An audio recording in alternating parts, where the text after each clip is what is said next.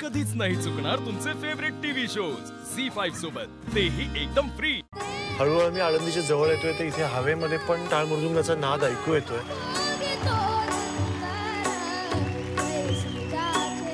ज्या भूमीतनं तू येतोयस त्या भूमीचा तुझ्यावरती आशीर्वाद आहे. माऊली या सारे गमपा लिटिल चॅम्प नऊ ऑगस्टपासून बुधवार ते शनिवार रात्री साडेनऊ वाजता. झी मराठीवर. होतीस तू आनंदीवर इतकं मोठं संकट आलं ह्याचा तुला पत्ता तरी जेव्हा आनंदीला तुझी खरी गरज होती कुठे निघून गेली होतीस तू? सो काय तिला त्रास आता होतोय हा तुला वाचवता आला असता ना? आनंदीने मला जायला सांगितलं. जसा तू तिला समजवण्याचा प्रयत्न केलास ना तसा मी पण केला. राघव तुझी आई आणि आनंदी या दोघी जणी मिळून जे करण्याचा प्रयत्न करतायत ना ते मला कधीही मान्य होणार नाही हे आनंदीला माहिती होतं. म्हणून तिने मला जायला सांगितलं. पहिल्यांदा ती मला अत्यंत वाईट वाटेल असं बोलली. मला माहितीये राघव आनंदी तशी नाहीये. मी तिला अनेकदा सांगण्याचा प्रयत्न केला तुझी आई जे करते ना ते सगळं चुकीचं आहे. तिला ते पटतच नाही. आईची यात काहीच चूक नाहीये रमा.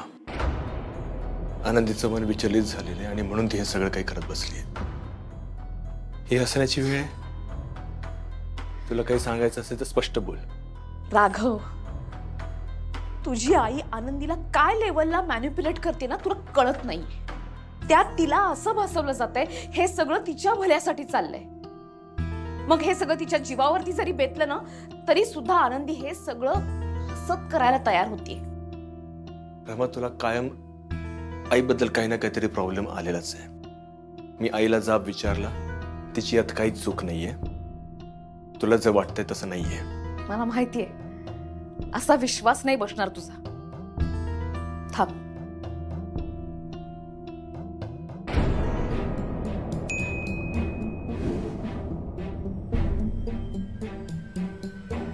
बघ.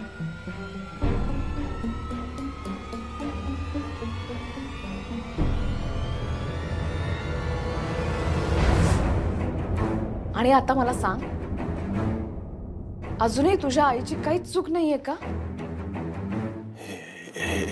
काय तुझ्या आईनं आनंदीला मूल व्हावं म्हणून दहा लाख रुपयाची ट्रीटमेंट सुरू केली. आणि या ट्रीटमेंटची काहीही खात्री नाही. आनंदीने मला याबद्दल काही सांगितलं नाही. कसं सांगणार ती? आनंदीचं म्हणणं तुझ्यापर्यंत पोचूच दिलं जात नाहीये. तिच्याकडनं शपथा घेतल्या आहेत वचन घेतलंय. आणि सगळ्यात महत्वाची गोष्ट म्हणजे हे सगळं तिच्या भल्यासाठी चाललंय असं दाखवण्यात येत आहे मग आता तू मला सांग या सगळ्या प्रकरणात तुझ्या आईची काहीच इन्व्हॉल्वमेंट नाहीये?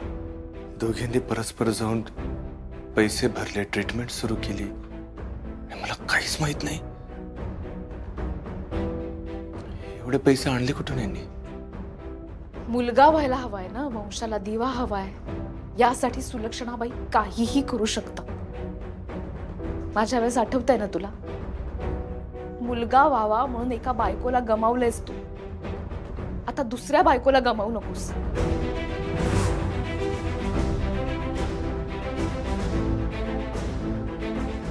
खरं आहे. वाटलंच मला तुझा विश्वास नाही बसणार. म्हणूनच ही फाईल दाखवली राघव तुझा विश्वास नसेल बसत अजूनही तर हॉस्पिटलमध्ये जाऊन विचार. तुला कधीपासून माहीत होत आहे जेव्हापासून ट्रीटमेंट सुरू झाली तेव्हापासून. मग तू मला का नाही सांगितलंस? मी हे सगळं आनंदीला सांगितलं होतं. तिला सावध केलं होतं. तिने नाही ऐकलं माझं. मला असं वाटलं की आनंदीला हे सगळं कळेल ती तुला सांगेल. पण नाही सांगितलं ती आणि आज तर डोक्यावरून पाणी गेलं. म्हणून तुला सांगायची वेळ आली. इतका मोठा निर्णय येतो की परस्पर कसं काय घेऊ शकतात? मला कुणाला सांगावं असं वाटलं नाही? आणि आनंदीच्या जीवावर बेतू शकतं हे माहीत असून सुद्धा? तुझी आई नातवासाठी जे प्रयत्न करते ना ते आनंदीच्या जीवावर बेतणारच आहे. राघव आई हे सगळं करतायत त्यात मला काहीच नवल नाही वाटत.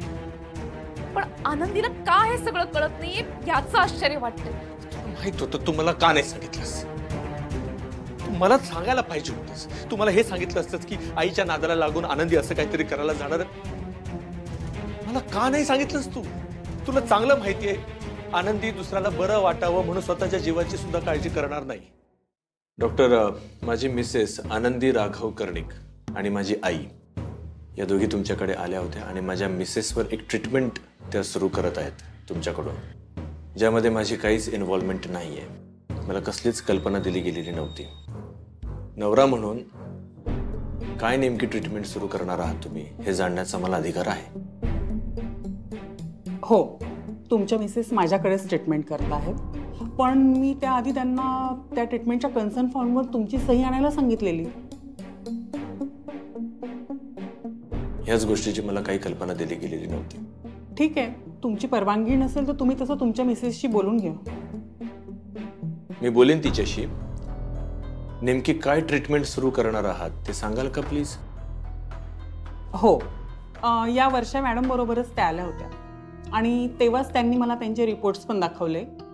आणि बाळ होण्याचे काही चान्सेस आहेत का तेही विचारलं. तेव्हाच मी त्यांना या ट्रीटमेंटबद्दल सांगितलं. दादा मला याच्याबद्दल काही माहिती नाही आहे आनंदीने डायरेक्ट हो. ॲक्च्युली त्या एकट्याच आल्या होत्या. म्हणजे तुम्ही बाहेर गेलात ना त्यानंतर त्या माझ्याकडे आल्या. आणि एकदा त्या तुमच्या आईसोबत सुद्धा आल्या होत्या. बट यू डोंट वरी ही ट्रीटमेंट खरंच खूप उपयुक्त आहे. म्हणजे शंभरपैकी सत्तर टक्के पेशंटवर ही ट्रीटमेंट उपयुक्त ठरली असा रेशो आहे. हे बघा ही सात महिन्यांची ट्रीटमेंट आहे. आणि यामुळे खरंच लोकांचं आयुष्य बदलत आहे. ज्या बायकांना मूल होऊ शकत नाहीये अशा बायकांना ही ट्रीटमेंट दिली गेली त्यांना मूल झालं आहे. आणि त्यामुळे त्यांचं कुटुंब आनंदातही आहे. बरोबर. पण ज्या तीस टक्के बायकांवर ही ट्रीटमेंट उपयुक्त ठरली नाही त्याचं काय? तुम्ही निगेटिव्ह का विचार करता? माझ्या बायकोच्या जीवाचा प्रश्न आहे. तिचा जीव मी धोक्यात नाही ना घालू शकत. नका काळजी करू. अहो तुमच्या बायकोनी विश्वास ठेवूनच ही ट्रीटमेंट सुरू केली तुम्हीही विश्वास ठेवा. कारण तिला रिस्क फॅक्टर माहीत नाही म्हणून. हे बघा तुमच्या बायकोनी या ट्रीटमेंटची पूर्ण माहिती घेऊनच ही ट्रीटमेंट घेण्याचा निर्णय घेतलेला. आणि त्यांनी मला त्याचं ॲडव्हान्स पेमेंट सुद्धा केलं आहे एकूण किती खर्च होणार आहे? दहा लाख रुपये. दादा? त्यांना पैसे उभं करायला प्रॉब्लेम येत होता पण त्यांनी थोडेसे पैसे जमा करून ही ट्रीटमेंट सुरू केली आहे आणि उरलेले पैसे लवकरच भरू असं तुमच्या आई म्हणाल्या आहेत. आणि आता तुम्हाला सुद्धा या ट्रीटमेंटबद्दल कळलंय तर तुम्ही त्यांना मदत करू शकतात. उरलेले पैसे भरा आणि ट्रीटमेंट पूर्ण करा. आज जो एक आवाज मी शोधायला चालली आहे तो एका गुणी गायिकेचा आहे जिचं नाव आहे श्रावणी. ह्याच वयात चांगली गायिका आहेस असं लक्षात येतं सारेगमपा लिटिल चॅन्स नऊ ऑगस्टपासून बुधवार ते शनिवार रात्री साडेनऊ वाजता सी मराठीवर. झी फाईव्ह ॲप डाउनलोड करा आणि पहा सर्व एपिसोड्स एकदम फ्री.